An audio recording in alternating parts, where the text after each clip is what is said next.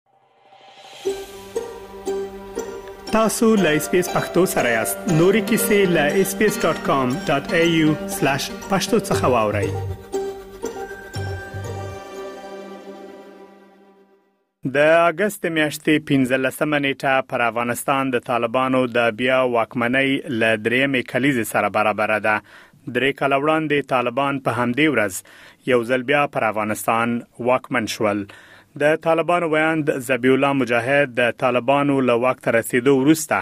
په خپل لومړي خبري کنفرانس کې وویل، موږ غواړو ټولې رسنۍ، خصوصي رسنۍ هغه ازادې واوسېږي، خپلواکې واوسېږي، خپل بې پرې نشراتو ته دوام ورکړي. خو د طالبانو د ویاند د دغو څرګندونو برعکس د هرې ورځې په تېرېدلو سره پر رسنیو او خبریالانو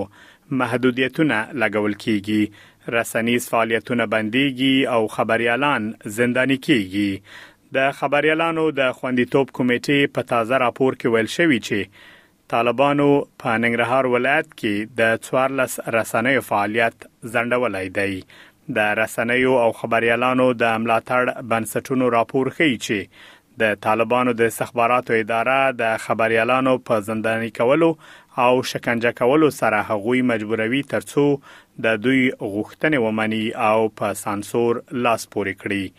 د جمهوریت له سقوط وروسته په سلګونه خبریالان د خپل مسلک او هیواد پریښودلو ته اړ شوي. په تیرو دریو کلونو کې ډیری خبریالان ایران او پاکستان ته کډه شوي ترڅو له هغې لارې لویدیځو هیوادونو ته ولاړ شي. میرویس حیدري یو له هغو افغان خبریالانو څخه دی چې له تېرو څوارلسو کلونو راهیسې یې له بېلابېلو رسنیو سره کار کړی او په دې وروستیو کې د استرالیا بشردوستانه ویزه ترلاسه کړې او دغه هیواد ته راغلی هغه اوس مهال په سیدني کې ژوند کوي ښاغلي حیدري له اس بي اس دری سره په خبرو کې ویلي چې تصمیم یې نه درلود چې افغانستان پرېږدي او د جمهوریت له سقوط وروسته یې هم خپلې دندې ته دوام ورکړ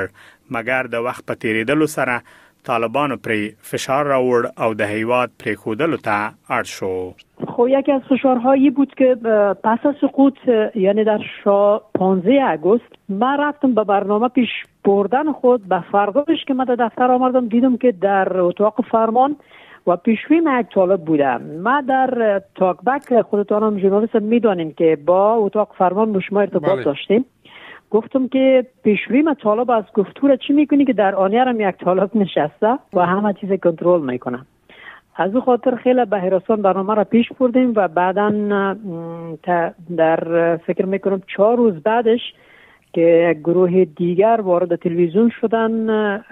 و اونا خواستن که باید ما طور مصاحبه بکنم که به خواست اونا باید باشه. د ښاغلي حیدري په وینا له هغه وروسته د طالبانو د استخباراتو ریاست لاس په کار کېږي او هغه له ځان سره وړي او د یوې اونۍ لپاره یې زندان کې ساتي. نزدیک به یک هفته در امنیت ریاست چل بودیم. و تحت فشار و شکنجه و اینگه پام قرار گرفتیم خب بعضی مسائل است که گفتن نمیتونیم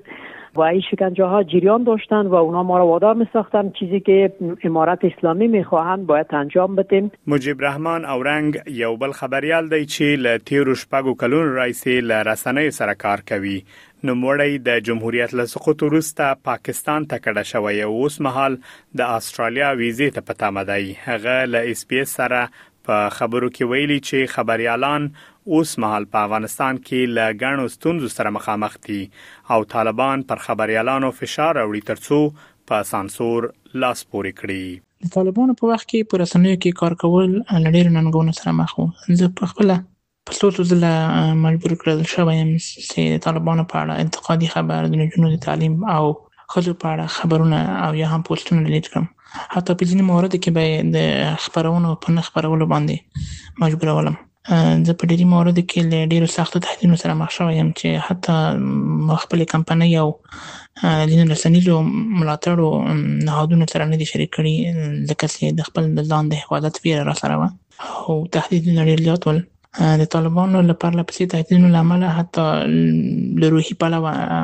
آرامښت نه و له ما سره حفیظ الله بارکزی د افغانستان د ژورنالستانو د اتحادیې مشر دی هغه اقتصادي ستونزې یو لسترو ننګونو څخه غني چې په افغانستان کې خبريالان ورسره لاس او غریوان دي هغه وایي په افغانستان کې د بیان ازادي شته او د شکایتونو د څیړنې او سرغړونې کمیسیون له تیرو دوو کلونو راهیسې فعالیت لري. د جمهوریت په وخت کې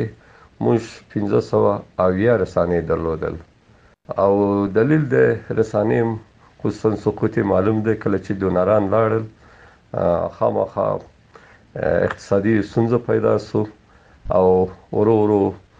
رسانۍ مجبور سو چې باید دروازې بند کړي خو وروسته نوې رسانې پخوانۍ رسانې بیا بیرته فعال سو چې څه کم څلور سوه رسانې اوس موږ په افغانستان کې لرو او فعالیت یې روان دی. د ملګرو ملتونو تعلیمي، علمي او کلتوري سازمان یا یونسکو د خبریالانو او رسنیو په اړه په خپل تازه رپوټ کې ویلي چې د دوه زره او یوویشت کال په اګست میاشت کې د طالبانو له واک ته رسیدو وروسته نږدې پنځوس سلنه رسنیو خپل فعالیتونه بند کړي او نوي سلنه ښځینه خبریالانو خپلې دندې له لاسه ورکړې دي. مجیب اورنګ له غربي هیوادونو په ځانګړې توګه له اسټرالیا غواړي ترڅو خبریالانو ته د ویزو په ورکولو کې لومړیتوب ورکړي. لکه څنګه چې اسټرالیا بشرپالو مرستو او فعالیتونو ته لومړیتوب ورکوي نو فعلا افغانستان کې وضعیت تر ډیره ننګونکی دی او خصوصا خبریالانو لپاره ښځو نجونو او فعالانو لپاره وضعیت ډیر وخیم دی زما په نظر استرالیا ته په کار ده چې د واخشارو ته توجه وکړي دوی سره مرستې وکړي او استرالیا د خپل مهاجرت سیستم کې اسانتیاوې راولي د خلکو لپاره تر څو د خلک وکولای شي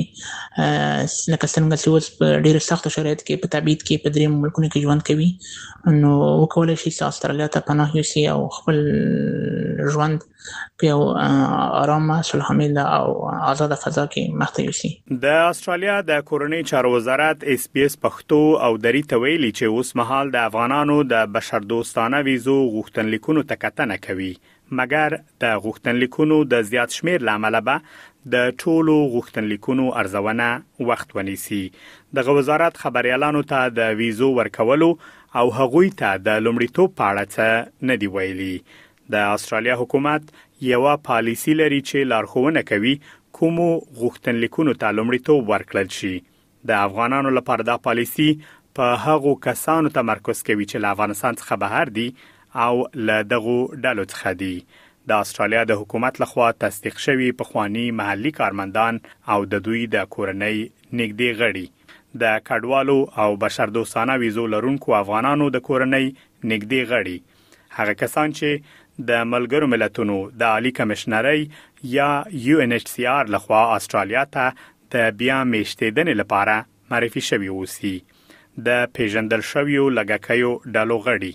لکه ښځې او نجونې، توکمیز اقلیتونه او LGBTQI پلس چې د UNHCR یا په اسټرالیا کې د کورنۍ د نږدې غړي لخوا وړاندیز شوي اوسي. دغه رپوټ د اس بي اس دري په همکارۍ چمتو شوی. اس پی اس پختو په فیسبوک کې تا کې پلی مطلب یو فاک کړئ نظر ور کړئ او له نورو سره شریک کړئ